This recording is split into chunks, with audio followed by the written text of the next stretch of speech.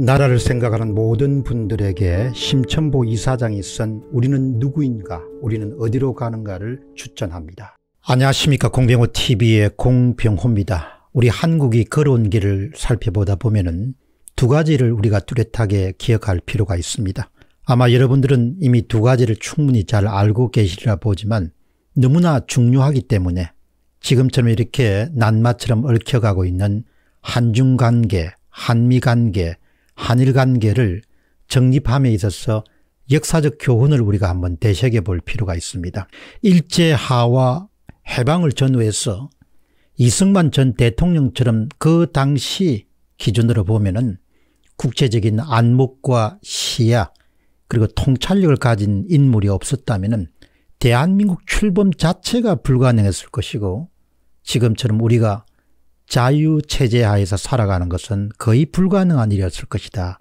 그런 생각을 저는 자주 하게 됩니다. 또한 1960년을 전후해서 전 세계가 계획경제와 중농주의 정책이라는 그런 환상에 사로잡혀서 제3세계가 달려가고 있을 때 그런 대세를 형성하는 시대 상황 속에서도 수출입국, 개방, 미일관계 중시, 공업화라는 국가 발전 방향을 선정한 박정희 전 대통령의 대단히 실용주의적 그런 세계관이 없었다면 오늘날과 같은 생활 수준을 우리가 누리는 것은 불가능했을 것이다. 그렇게 생각합니다. 두 사람이 시대를 읽는 안목과 시야와 그리고 통찰력이 있었기 때문에 오늘 우리가 있다는 생각을 하게 됩니다. 이 단순한 역사적 사실을 인정하고 또 감사하게 생각하는 것만으로도 우리 앞에 지금 주어진 외교관계의 그런 난제들도 수월하게 그리고 올바르게 헤쳐나갈 수 있을 것이다. 그런 생각을 하게 됩니다.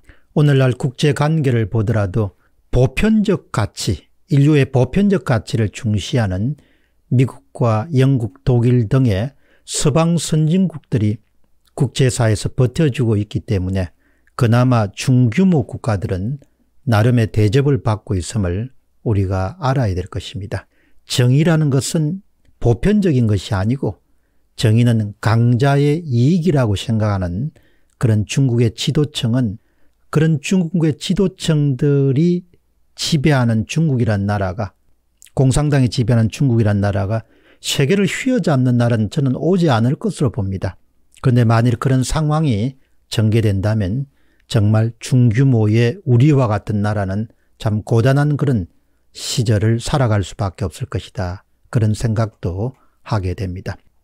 3월 18일 날 오전에 사이먼 스미스 주한 영국 대사가 관제의 주요 일간지 기자들을 초청해서 간담회에서 내놓은 조언이자 충고이자 자신의 시국 진단은 우리가 정말 한 번 정도 더 깊이 진지하게 새겨야 되고 특히 한국의 위정자들이 국제관계를 정립함에 있어서 한 번 더 새겨야 될 좋은 그런 조언이라고 그렇게 봅니다.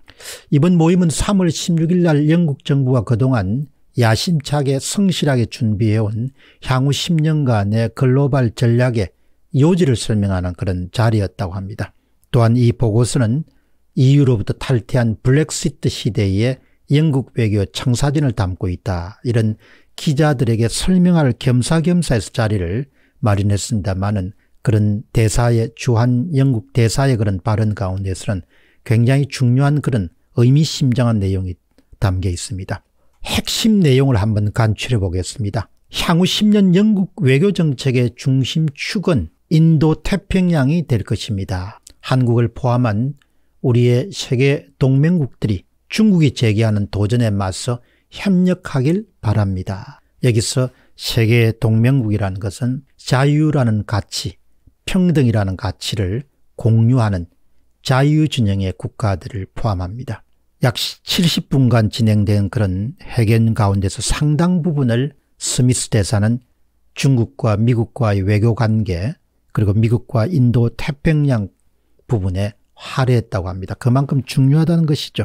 특히 영미 관계에 대한 기자들의 질문에 대해서 스미스 대사는 외교 안고 안보 분야에서 미국은 영국의 가장 핵심적인 파트너다라는 점을 분명히 했습니다. 또한 스미스 대사는 중국은 국제사회의 기회이기도 하지만 도전 과제입니다. 솔직하게 이야기한 것이죠. 그리고 이런 이야기를 다 합니다.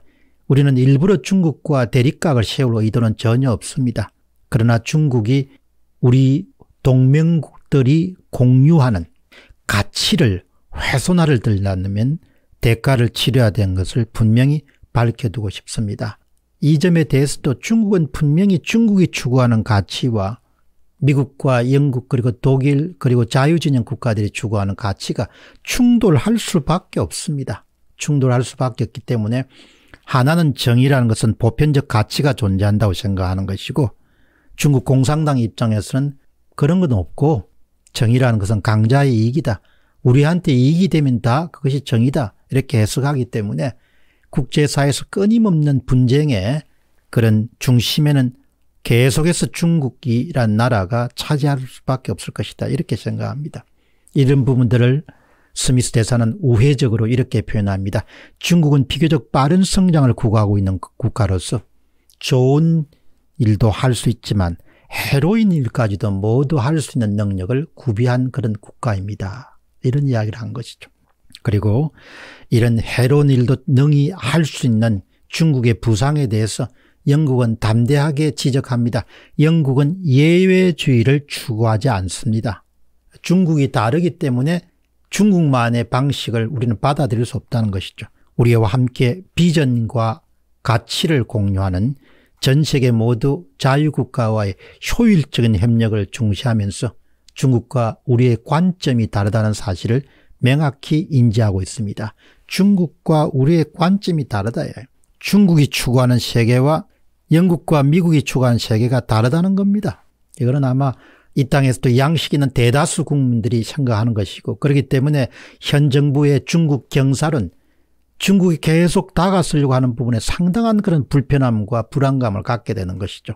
이어서 스미스 대사는 중국의 치명적 약점, 중국스러운 모습을 보이는 신장 위구르족에 대한 인권 유린 문제, 홍콩 민주화에 대한 억압 문제, 또 세계 무역의 공급망을 교란한 문제에 대한 부분들이 현안 과제라는 점을 분명히 지적합니다. 특히 이제 중요한 지적은 스미스 대사는 인도 태평양 전략에 대한 한국의 입장, 한국의 스탠스에 대해서 영국 대사는 어떻게 생각하십니까? 라는 그런 기자의 질문에 대해서 아주 중요한 발언을 합니다. 자유의 가치를 한국 정부가 상기했으면 좋겠습니다. 1980년대 한국과 지금의 한국이 얼마나 다른지는 한국도 잘 알고 있지 않습니까? 자유무역부터 표현의 자유든 자유의 엄청난 매시브 가치를 옹호하는데 한국도 합류하기를 바랍니다. 어쩌면 자유의 가치를 옹호하기 위한 미국과 영국의 노력 덕분에 오늘날 운동권 세력들이 젊은 날 민주화를 위해서 노력할 때 많은 보호를 받았던 것이죠. 자유의 가치를 상기해야 된다는 겁니다. 1980년대 자유가 억압되던 당시의 상황을 당신들이 기억을 해야 되고 그 당시에 국제사회 가운데서도 특히 영미를 중심으로 한 서방 선진국들이 당신들에게 얼마나 보호막을 제공했느냐. 자유의 엄청난 가치를 옹호하는데 한국도 무임성차자가 돼서는 안 되고 한국도 이익을 담당해 줘야 된다는 것이죠. 그리고 그런 이익을 담당할 수 있는 그런 많은 종류의 국력도 이미 충분히 성장했기 때문에 이런 점을 보면은 정말 영국 대사가 국제 관계를 어떤 식으로 지금 진단하고 있는지 또 앞으로 어떻게 국제 관계가 전개가 될지란 부분을 정확하게 본인은 조언이자 충고가 아니지만 조언이자 충고로 받아들일 수도 있는 것이죠. 오는 6월 달에 영국은 주요 7개국 정상 G7 정상회의의 의장국입니다. 의장국은 어, 자신들의 판단에 따라 재량으로 세계 국가를 초청할 수 있는데 그 국가에 한국, 인도, 호주가 포함이 됐다고 합니다. 어떻든 시대가 가는 방향을 잘 읽었기 때문에 이승만 대통령이 자유민주주의 국가 체제를 가능하게 한 것과 마찬가지로 박정희 전 대통령이 시대의 변화를 잘 읽었기 때문에 어떤 길을 가야 되는지를 잘 선택한 두 대통령의 덕분에 오늘의 한국이란 나라가 저는 있다고 봅니다. 그렇기 때문에 자기 생각만 하지 말고 자기 정파 이득만 내세우지 말고 자기 지식이 더 옳다고 생각하지 말고 국제 정세가 어떻게 흘러가는지 시대가 어떻게 흘러가는지를 잘 읽고 정말 한일 관계 또 한미 관계를 대단히 중시하고 자유라는 그런 보편적 가치를 보호하는데 또 그렇게 보호하는 진영에 우리가 함께 하는 것이 국채를 보존하고 나라를 길이 번영의 길로 이끌 수 있는 그런 지름길이자 초석이 될 수 있을 것이다. 그렇게 생각합니다.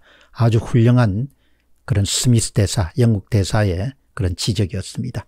공병호 TV의 공병호였습니다. 감사합니다.